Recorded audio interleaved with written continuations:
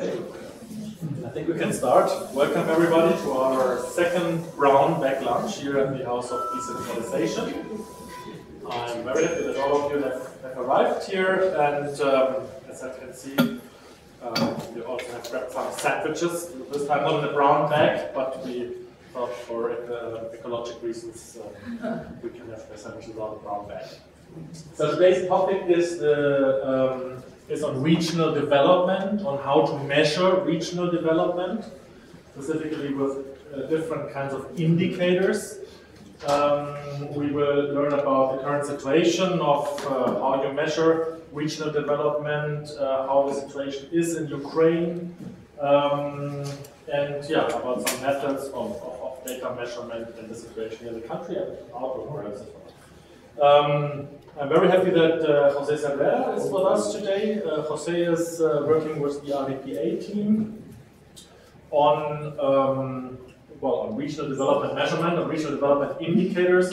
He has worked at the National Statistics Office of Spain for many years, um, and then also was uh, head of a, diff different of several uh, projects in Moldova, in Romania, and in other countries that work on statistical data, on, on um, supporting national stakeholders and improving their database and measuring um, progress on in different areas. So I'm very happy that you're here with us today, and the floor is yours to give us an input.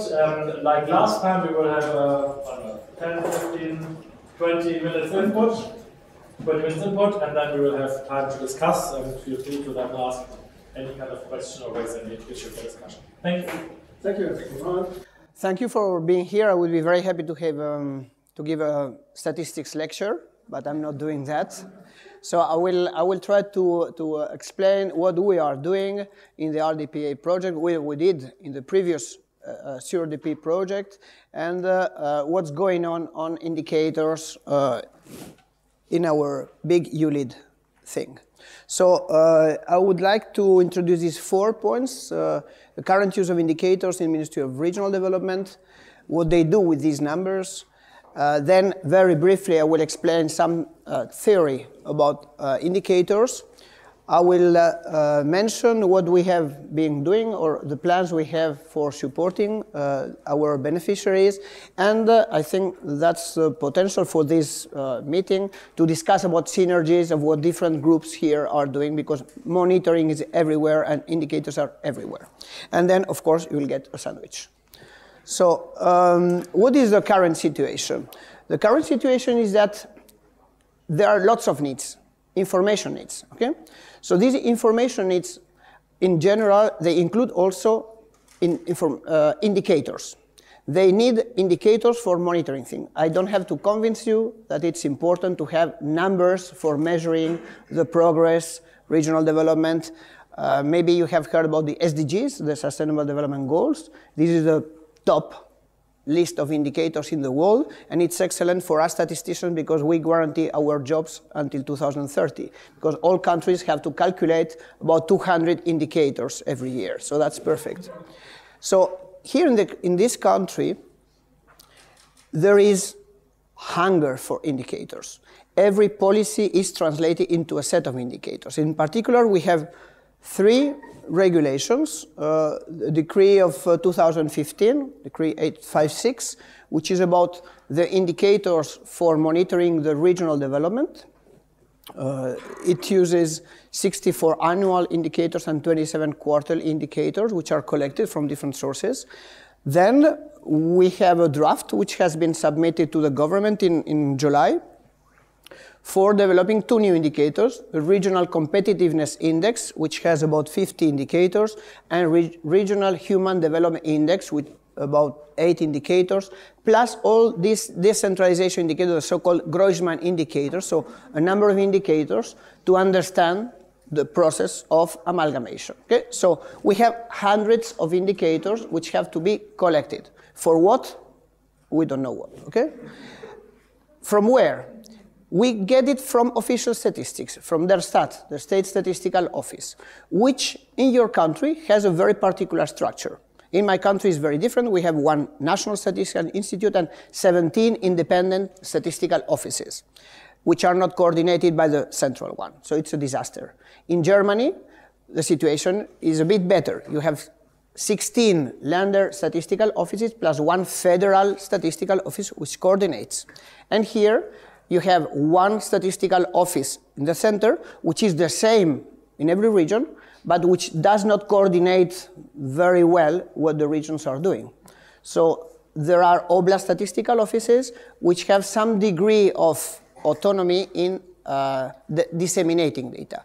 So you have probably had the experience that when you want data at the lower than oblast level, so at the rayon level, you have to collect data from the 24 websites of the, of the oblast statistical offices.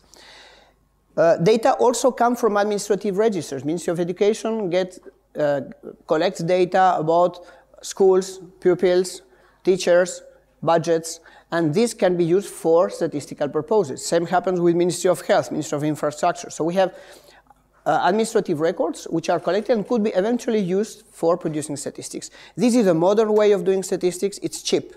But you need a very strong coordination from the state statistical office because you have to ensure that the ministries are using comparable definitions, similar classifications, and a methodology which is agreed with them. Uh, in the Scandinavian countries, Sweden, for instance, Sweden uh, does not do surveys, very few surveys. Mostly statistics are done from administrative registers, and that's very cheap. Uh, then we have ad hoc surveys. Okay, I will discuss about this uh, uh, survey on the quality of uh, accessi accessibility of uh, services at the municipal level, which is a potential source we should discuss here. Then we have the tools. What do we do with the data? Usually, we put them in Excel files. I will show later uh, what is this, how this work is done.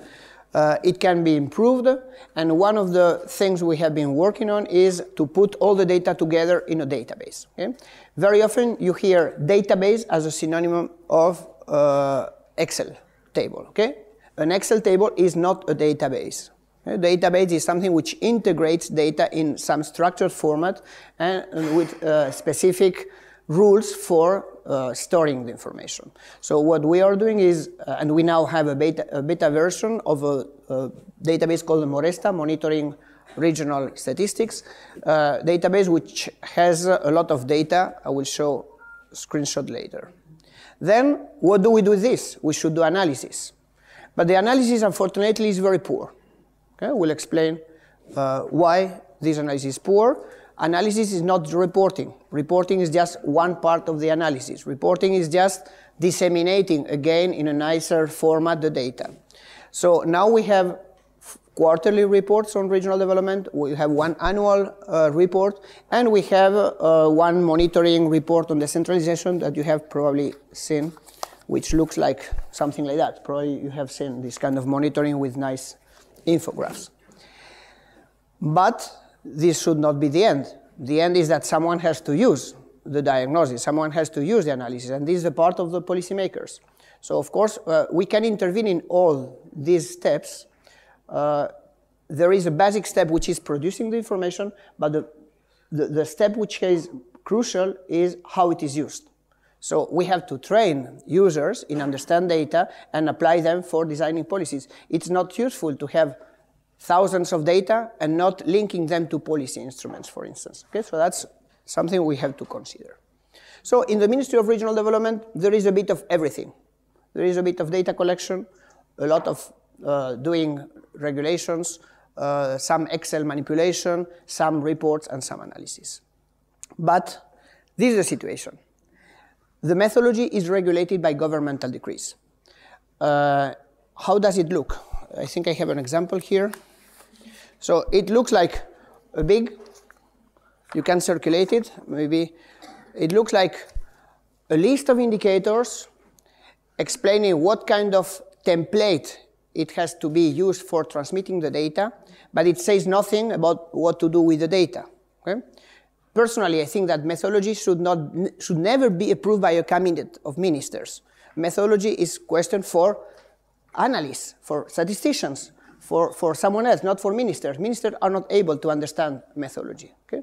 So you will see uh, in the EU, statistics are regulated, yes, but even Eurostat does not say how to do statistics. Eurostat says what statistics have to be produced, and every country decides on how they do. And they have their own methodologies, and methodologies are never approved by governments. Okay? Because that means that if you have to change the methodology, you have to go back to the cabinet of ministers. And ministers are not happy to review resolutions about formulas. In Ukraine, you have these uh, uh, state statistical, uh, sorry, these um, um, decrees, like the one which is circulating, and you have methodological resolutions of the state statistical survey, which is the right way of doing, of fixing a methodology. Then transmission, you see my, my face is crying. Transmission of data is like sending Excel files everywhere, okay? And the analysis is uh, quarterly and annual ranking reports. Just a few examples. This is what appears in this governmental uh, decree. Do you think that any minister can understand this? Probably not. And it is wrong. It is wrong.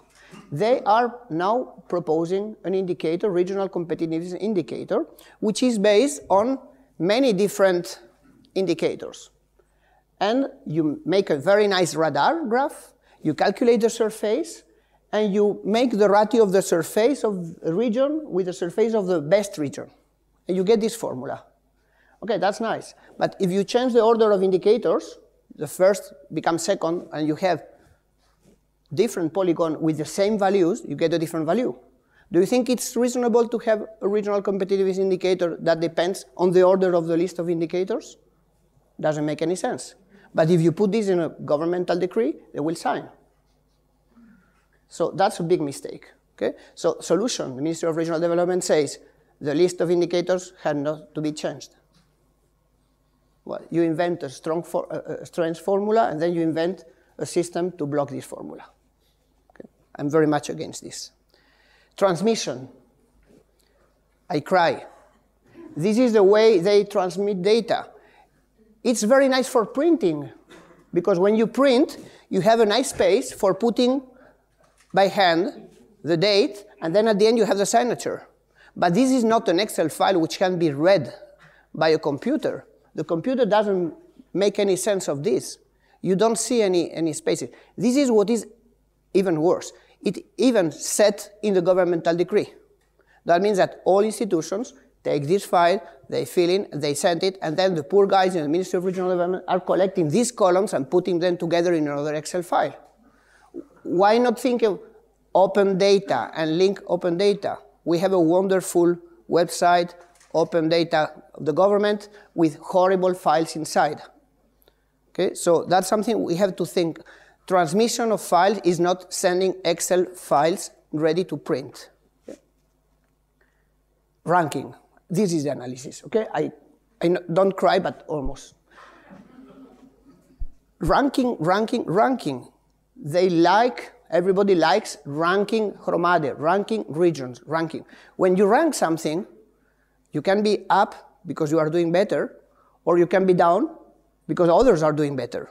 So it doesn't measure your own performance. Ranking is nice for journalists. I'm sorry we have journalists here. But why? Because it points the attention of something, but it does not help analysis. Ranking hides a lot of things. Just a few examples. This is uh, from the Groisman indicators. We have uh, four parameters, Kilkis OTG uh, from less than 5,000 people, and uh, the main ranking. So Zhytomyrska is the first one. In doing what? I don't know. Okay, but they are the first one. It happens that this ranking, which is number of ETGs with less than 5,000 uh, inhabitants, has almost no correlation with this. So why putting this indicator? Okay, so it's not a question of putting a list of indicators and deciding how to aggregate them in a nice single composite indicator. No, it's necessary to do some analysis of the correlation of the indicators which are inside. So if something is not correlated, that means something is happening with this indicator. So maybe we have to review, if it, is it useful or not for ranking region. Then these two indicators have a correlation of 97%. Number of territorialni gromadi and surface. They almost are identical. Does it mean to collect it twice? Or we just want one? At the end, what happens? It happens that this ranking, this wonderful ranking with red, yellows, and red uh, and greens, depend on two indicators which could be summarized in one, and one which has nothing to do. Why? So, that's, that's even worse. Imagine these regions. For, these are imaginary data. For six years, they are keeping the same ranking, okay? They rank, the rank are the same. In the first case, all the regions are improving, but these poor guys look very bad, always, even if they are all improving. So, here we have a process of convergence, which is important if we want to measure, for instance, access to services. It's important to have convergence, and the ranking is the same. And here we have divergence, and the ranking is still the same. That means that the ranking is hiding the trends. It's hiding the variance of the data. So ranking is useless. It's nice for pointing out some situation. It's nice to show that Scandinavian countries are highest in Human Development Index and Libya is last, but it doesn't, doesn't say anything about why the Scandinavians are better or the Libyans are worst. Okay? So ranking hides everything. Please don't use, don't suggest rankings anywhere. Okay? so we have to think about what is an indicator, what's a composite indicator. So I'm not going to explain what is indicator, you all know what it is. The question is how to define and how to produce the indicator. So it's very nice, looks very nice on log frame matrices to put an indicator like quality and availability of transport infrastructure easing of doing business. That's a World Bank indicator. Uh, you know how much work is behind that? Behind this indicator, which goes to nice ranks, there are teams of experts in about 200 countries evaluating questionnaires, which are 40 pages, with case studies. That's a lot of work. You know how to produce this? Probably we need a survey. Okay? And a survey needs to to be done in a long list of steps, okay? So first, indicator, it's a combination of statistical variables, but we have to decide what type of variable we put in.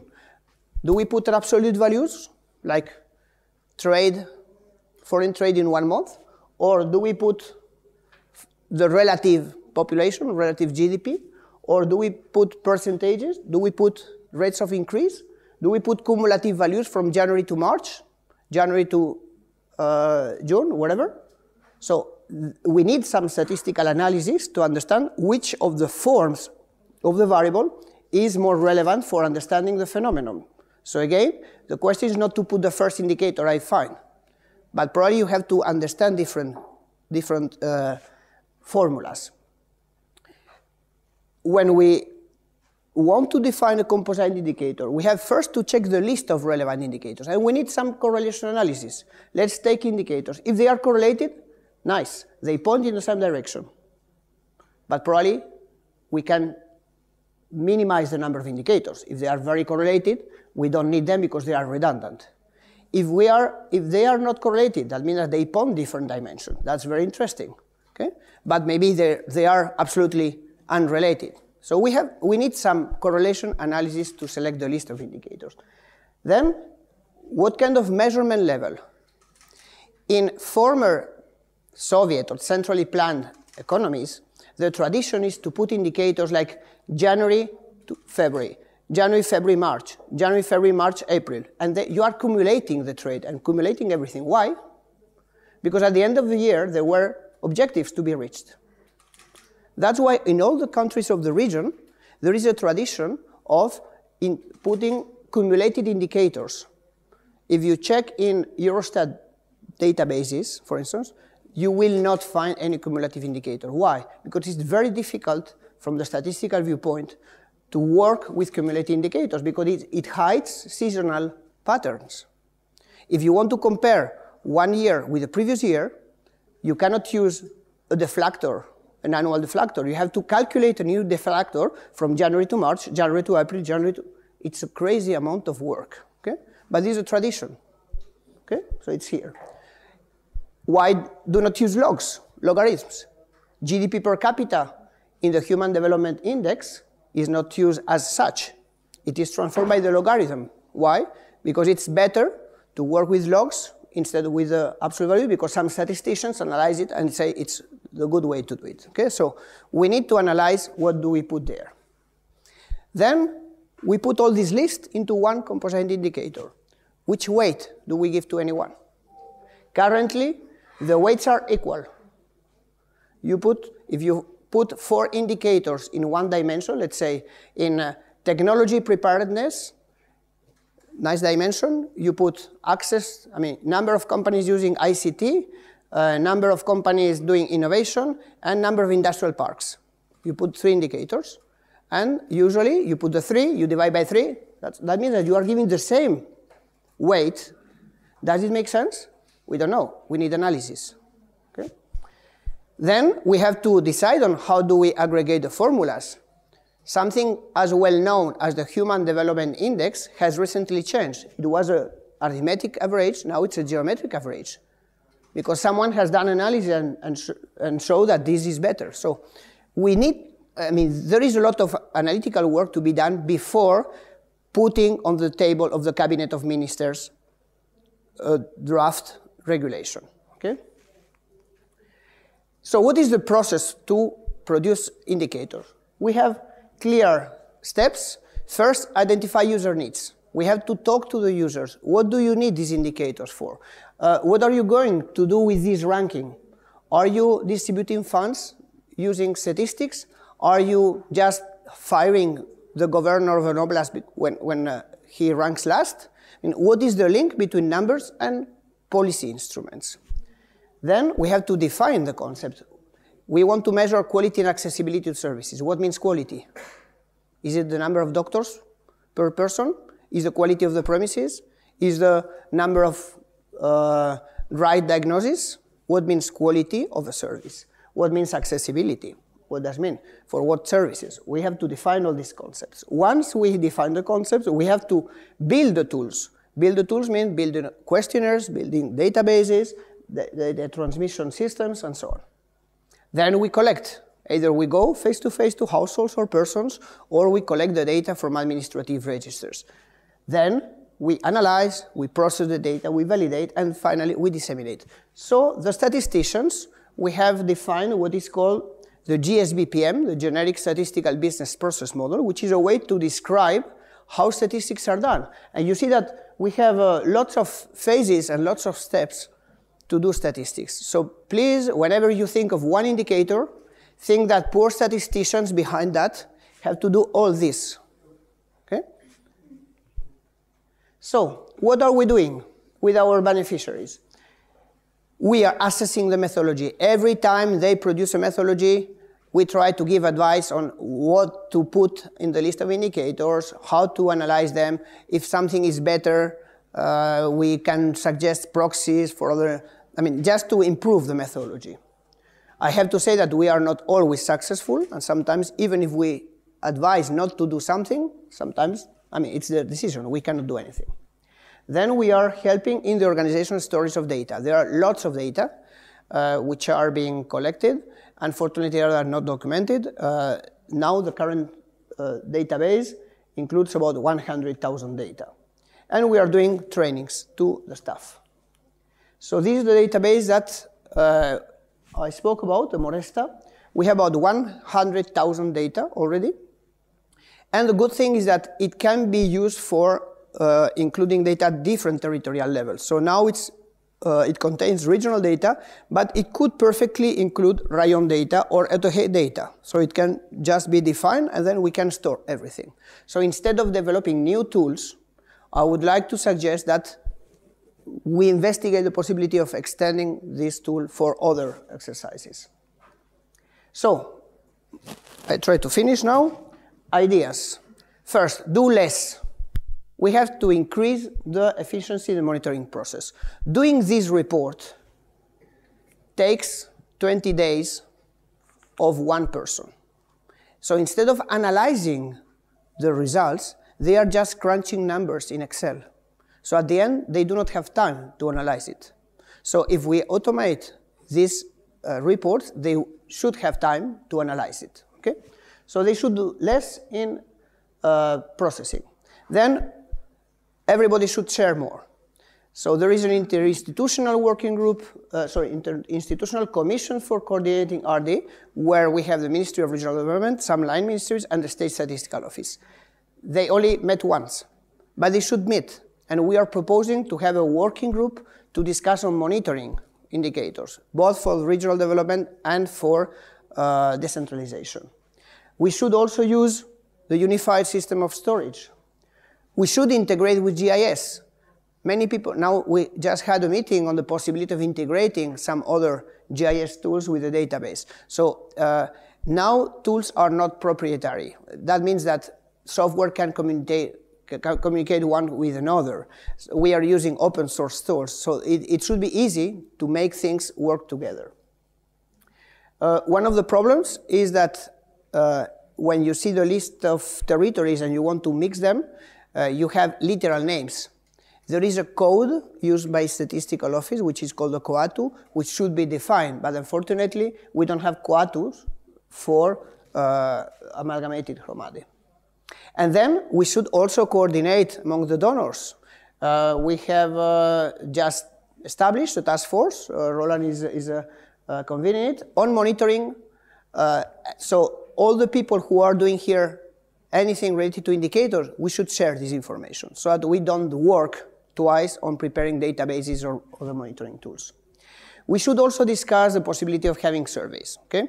Uh, one of these governmental decrees says that some indicators will have to be collected by the Ministry of Regional Development. That means that they will have to do a survey. And if they have to do a survey, they will have to go through this. And this costs a fortune. So instead of doing one survey for Jose for one indicator and one survey for uh, uh, Roland for another indicator, let's plan a survey. If someone is not doing it yet, let's plan a survey collecting the information needs of everybody else because that will be very expensive. Okay, so we should discuss it internally. And then I think we should help the decision maker in understanding better the data. So visualization is nice, of course it helps, so maps, graphs, all these kind of things are nice, but my proposal is that most of the research analysis should be outsourced. In many countries, ministries of regional development or other policymakers, they just have a list of topics of interest for their for, for diagnosis of policies. So they just have this and the competitive tenders. And in this country, there are 664 universities and uh, research centers. So there is a lot of capacity for analyzing the data. So instead of having our three poor colleagues in the Ministry of Regional Development doing these kind of tools, it would be much more efficient if they just decide these are the topics of interest. Internal migration, uh, local transport, uh, smart specialization indicator, whatever, and they just outsource it to researchers. The researcher would also do something more useful than what we are doing. Okay? So thank you very much. Uh, you already had your, your uh, uh, sandwich. So let's have uh, questions and answers right now. Thank you.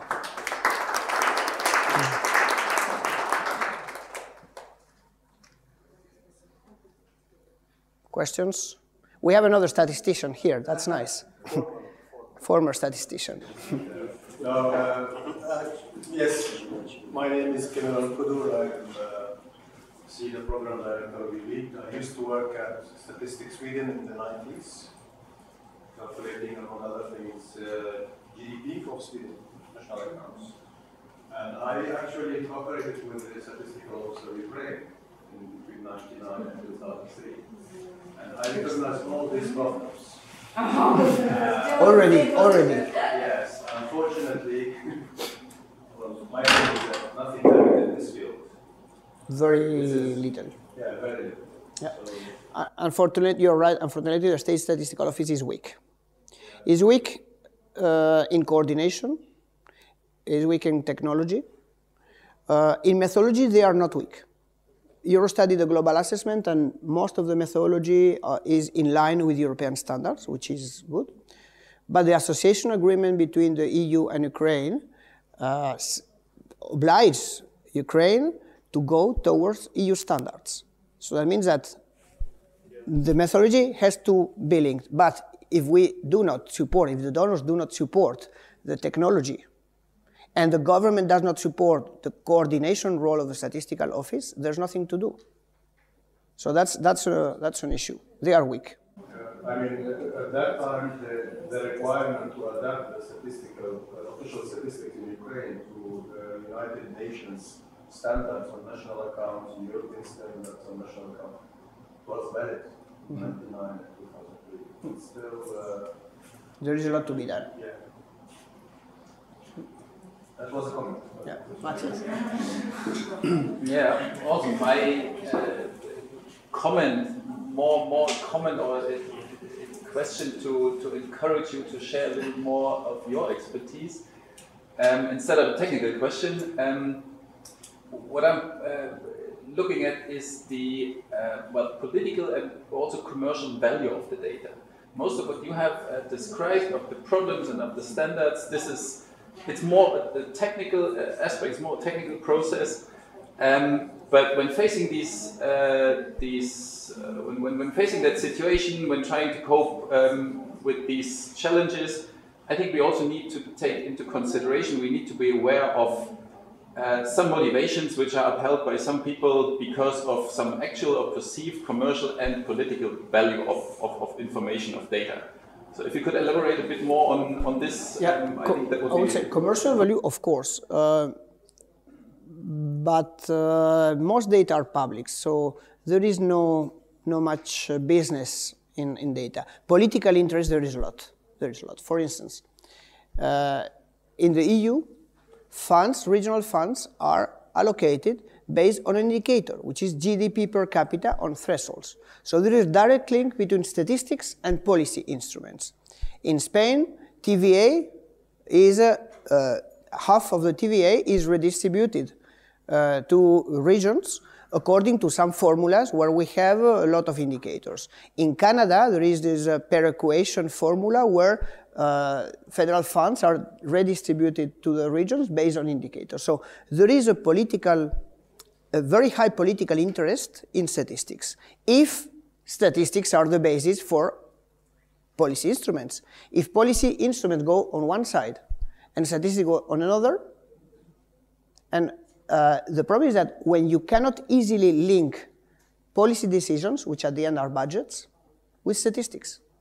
So if you are able to find a database where you have budgets and statistics and you can make an analysis, then it's a very strong political instrument because you can see if the policy instruments are really addressing the needs of the country or if there are some other interests. But they are very, I mean, statistics is, uh, the name comes from state. The basis for state is statistics. The first thing a country does is a population census and national accounts. So Kosovo, when Kosovo got independent, the first thing they did is a population census because they wanted to have a country. What happened in Crimea? What was the first thing done there? Census. The census is a political instrument.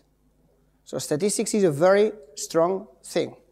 Jesus was born in Bethlehem because Augustus was doing the census.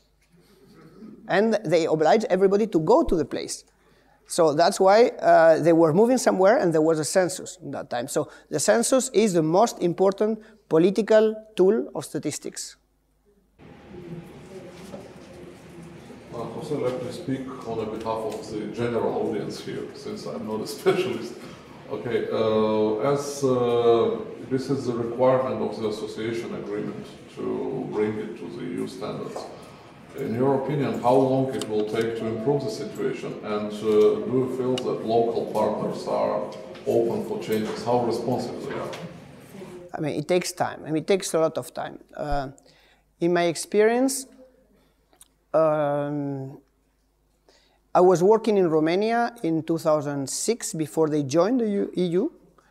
Uh, now, 10 years later, their statistics are fully adapted to EU standards. And Romania is a country with similar resources.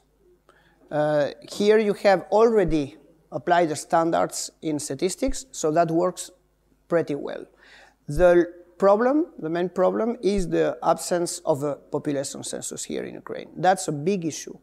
there is no population, I mean, there is a population register, which is not coordinated by the statistical office. That means that when someone is registered in a municipality but working in Poland or in Kiev, nobody knows because there is no link. So the data, the population data at the very low level are not of good quality. And the statistical office recognize that.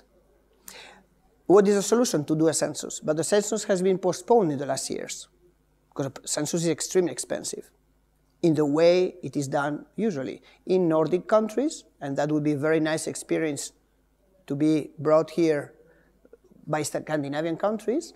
They do not do a census uh, with face-to-face -face interviews. They do, they just merge administrative registers. And that's cheap.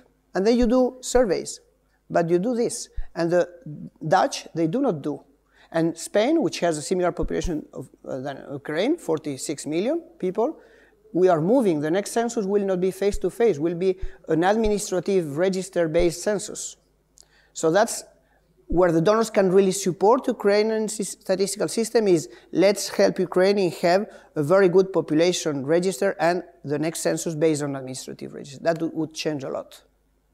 Be, but it takes time and money. Take time, takes time and money how, how, uh, how good we are at explaining for the politicians and decision makers that there is a need to have a unified population register, for instance. Is there any room for well, improvement when it comes to us? I mean, um, statisticians were very bad in communication because we go into technical things. And so we, we do not have this good uh, communication with politicians. It's someone else that has to do that. So of course, it's very much welcome that donors and, and people are uh, convinced, people who are convinced of the usefulness of statistics, go and discuss with the, with the. I would not say that statisticians have to do that. Because in general, they are not good in communication. Yeah, I would be very interested to, uh, say in um, that you described a little bit um, uh, more the content of indicators for regional development, like what are the main classes? How can you measure regional development? On, on what do you measure it? I asked Lena to upload the file just precisely to show you. I was waiting for your question. uh, so, where did you put it? Uh, Lena, Lena is not here. Where did you save it? Um, the Word document or the Excel? The Excel. Ah, okay. Okay, so this is how it looks, okay? So um, this is nice, okay, you see? This is ready to print. Ready to print, but this is a copy of calculation. This could be also ready to print if you hide. So they are putting twice the, the same numbers. So this is what is done. So for instance, you have ekonomiczna effectiveness, okay? So this is one dimension, what is called dimensions. In this dimension, we have several indicators. This one is an indicator of industrial production, okay? Very nice. This is the value obtained from the statistical office, okay? So this is the um, indicator with respect to previous year, okay? So 110 means 10.9% more than previous same period of previous year. Okay? Then you have the volume of uh, industrial production. So here we have a rate of increase. Here we have an absolute value. And here we have uh, index of Tsiago. I don't know what is this, but it looks like another cumulative data. And this is number of something, of Tsiago. Okay? So you have, in this case, seven indicators. If I'm not wrong, I think it's seven. Yeah, seven indicators in the same dimension, okay? So first, you take this value, and you normalize.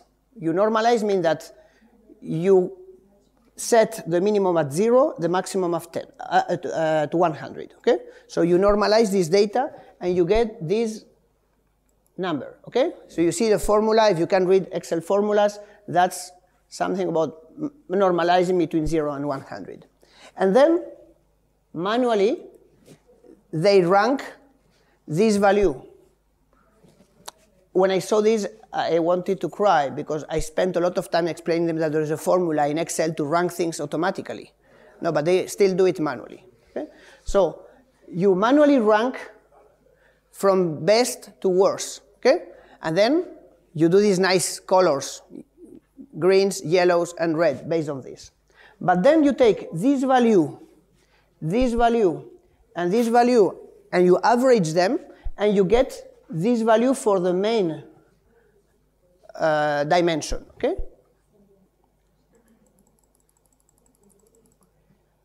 You get this value, which is an average.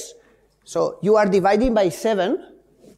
That means that you are giving the same weight to each one of these things. And then you rank again manually. Okay? So what does it happen? You are normalizing between minimum and maximum, okay?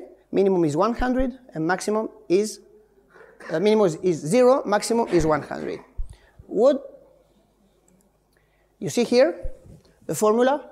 This formula means that here we have the maximum and here we have the minimum, okay? What happens if the maximum and the minimum are very close? If not, minimum and maximum are very close, that means that minim, maximum minus minimum will be close to zero. And what happens when you divide by zero? It's a big thing, okay? So, if a variable is very similar in all the country, which would be, let's say, perfect convergence, this variable would have a huge weight here. Exactly, number of teeth.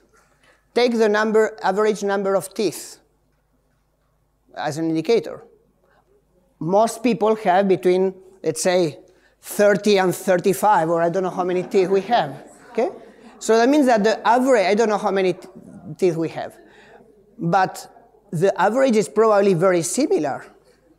So if we took the indicator average number of teeth as an indicator of dental quality, which is an indicator of development, by the way, that means that almost all regions have the same average. So that means that this indicator is dividing almost by zero, so it has the biggest weight. Does it make sense? Doesn't make sense at all. Normalizing data hides convergence or divergence. So this technical thing is full of interpretation mistakes. So can you imagine that every quarter they are publishing something with green, yellows, and uh, reds of everything? Of everything. So it's a big problem. It's a, also our problem. I, I, I think that this is my problem that I was not able to explain uh, really well these problems because they continue doing this. Okay? So at least if from our side we can avoid proposing rankings, that helps. Okay? This is this is nightmare. The, the, this kind of work, because every month or every quarter we have a different Excel sheet. So if I want to compare last quarter with this quarter, I have to put together the two Excel sheets because they are not in a database. So what we are doing is taking pieces of this and uploading them in the Moresta database. But it takes life. It's more complicated than you. So please never trust rankings. Any other question? Okay, so then, yeah. The access to Moresta is available? Uh, yes, it's. Uh, I mean, the, I mean, there is an interface for users. There is an interface for administrator, but it can be it can be used. But it's beta version. It's beta version. That means that uh, the contents has not been fully validated. Okay. But there is, there is an access for There is an users access, yeah. to at least. Yeah, you can you can already. it. Can you also explain what we dealt, uh, how we dealt with the ministry when they got these PDF Excel files, how they were dealing with this information to produce this before Moresta? Like, can you explain what, what, what the situation? Uh, well, I don't have here the, the slide, but usually to produce this, to produce this, This is a PDF. This is a well. This is a PDF of a PowerPoint, and this PowerPoint here includes graphs. And behind the graphs, you know that in PowerPoint you have kind of Excel sheets. Okay, so one file like this, which is PDF, in fact has a lot of Excel things behind. This could be perfectly produced in Excel. You don't need uh, PowerPoint to do nice things. All this can be Excel. In fact, we did it, but they are not using it. So uh, sometimes I think that the most useful technical assistance that can be done, and that was my experience in Moldova and Romania, many countries, is training people in Excel. Unfortunately, this is the most useful thing very often. Yeah, but I just wanted to say that when we started to work with the Ministry of Regional Development, Mm-hmm. they had 700 Excel sheets with uh, inside of every file there was another 10, 15, 20 sheets. And to find any information to, to build an indicator, they had to go to every this file, they had to find it, they had to find the, the exact sheet to pick the data out. And that's how we came to the conclusion that uh, you know, if there is no one database where you can easily click, click, click on indicator on the years and, and extract information, you will, you will lose a lot of time of, of public service. That's how we came to the idea of development of Moresta and actually did this. And unfortunately, it is not yet again being used because the people are, uh, regardless of the amount of training that we have delivered, they continue to work with, with Excel and with these sheets. I mean, we don't know how to grade this, but this is So in fact, we can we can act, and that's that would be my summary. We can act in any one of these boxes. We can act in advising them on what to put in governmental decrees or what not to put in governmental decrees. We can support in improving the sources, as you said, directly with the statistical office. We can help in delivering tools like visualization, GIS, Morestas, Excel, whatever, we can improve. We can help them improving the analysis by doing relevant things and not rankings. And we should, we haven't done it, we should help in analyzing the data for diagnosis, not rankings, diagnosis. So we are in many different teams. Each one can do different things, but I think we should have this in mind. We, we can act in different steps of the production of the, of the statistical information. Okay, so thank you very much. If you ever need uh, any advice on numbers, I used to be on the third floor. Thank you very much.